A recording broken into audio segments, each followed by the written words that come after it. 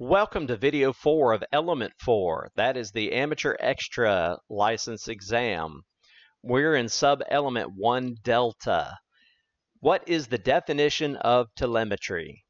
The answer is a one-way transmission of measurements at a distance from the measuring instrument.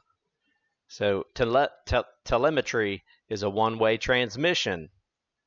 And um, that is usually your space stuff, uh, or a balloon perhaps.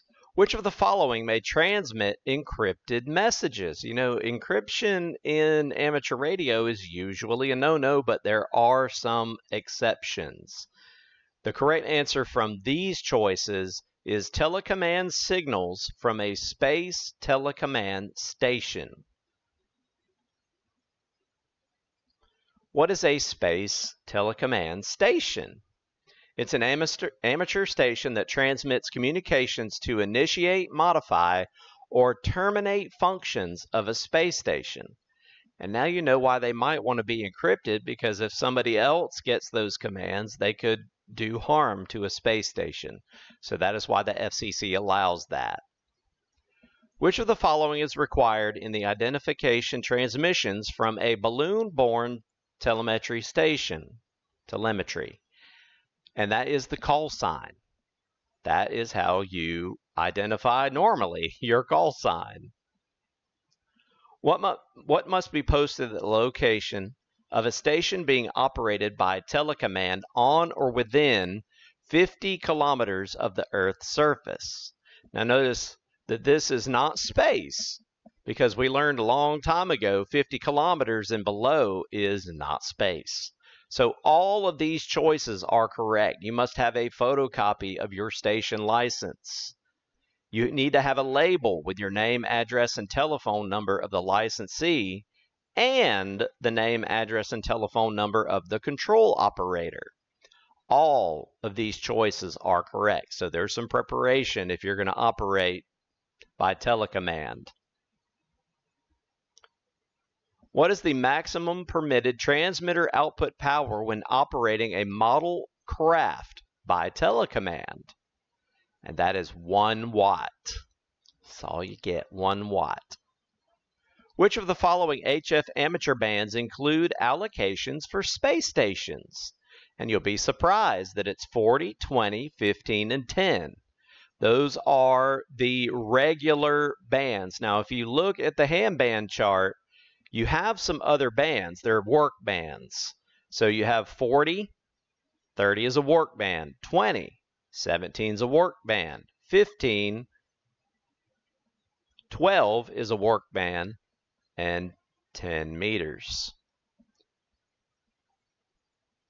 Which VHF amateur bands have frequencies authorized for space stations? That's 2 meters because VHF two meters. There's no six meters. It's only two meters. Which UHF amateur bands have frequencies authorized for space stations? Now, UHF is your ultra high frequencies, and that is 70 centimeters. And at 70 centimeters, sometimes we want to say 440, but it's 70 centimeters and 13 centimeters. Uh, if you're saying 440, that's not the band, that's the frequencies. So the band is the wavelength, 70 centimeters, 13 centimeters. What amateur stations are eligible to be telecommand stations of space stations subject to the privileges of the class of the operator license held by the control operator of the station? And that is any amateur station so designated by the space station licensee any amateur station so designated by the space station licensee. Question number 11.